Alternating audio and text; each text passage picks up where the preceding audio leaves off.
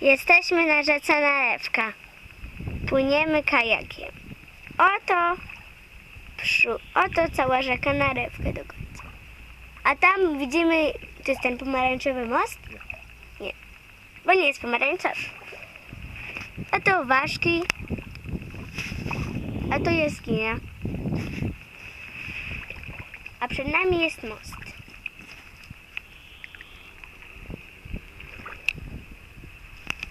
Oto on. Ale nie ma obok niego żadnej plaży, więc to nie może być nasz pomarańczowy most. Raczej jakaś rozwalająca się kładka. Dokładnie. A tutaj tatuś wiosłuje. Zaraz pokażemy tatusia jeszcze raz. W większym oddaleniu. O właśnie. Dzień dobry.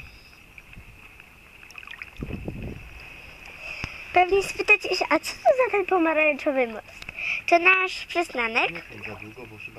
To nasz przystanek, przy którym dzwonimy do pani i mówimy, żeby po nas przejechała, albo że płyniemy dalej. Do widzenia. Zofia nagrywała Zofia Sadowska.